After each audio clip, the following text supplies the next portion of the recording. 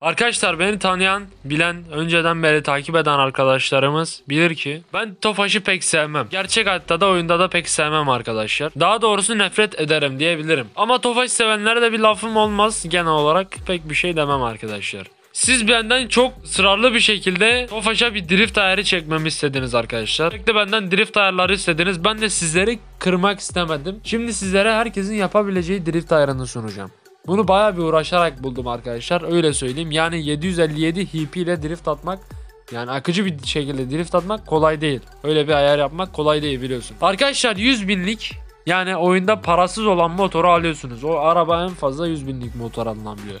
100 binlik motoru alıyorsunuz. Sonra 200 binlik motoru çekip tuning yani 6000 TL'lik ortadaki lastiği alıyorsunuz. Ondan sonra bu gördüklerinizin hepsini alıyorsunuz arkadaşlar. Sonra da arabamız 757 HP'ye ulaşıyor arkadaşlar. Gearbox ayarına geçtiğimizde ise Gearbox ayarı bu şekilde arkadaşlar.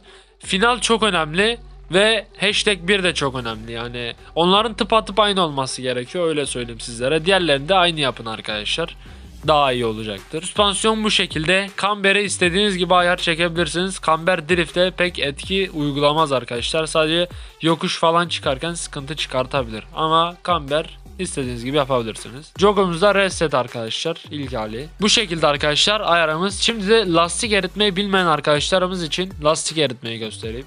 Düz duvara yaklaşıyorsunuz ve gazı köklüyorsunuz. Gazı köklediğinizde lastik erimiş oluyor arkadaşlar. Görüyorsunuz şu an ibrenin sağ ve sol köşelerinde lastiğimizin göstergeleri oluyor arkadaşlar. Bu göstergeler %0'a indiği zaman lastiğimiz tam olarak erimiş oluyor arkadaşlar. Sürekli soruyorsunuz cevaplayayım dedim. Arabamızı ABD'ye çekiyorsunuz arkadaşlar. Drift mod değil kesinlikle. ABD'ye çekiyorsunuz. Vites 1'de değil otomatik viteste kullanacağız arkadaşlar.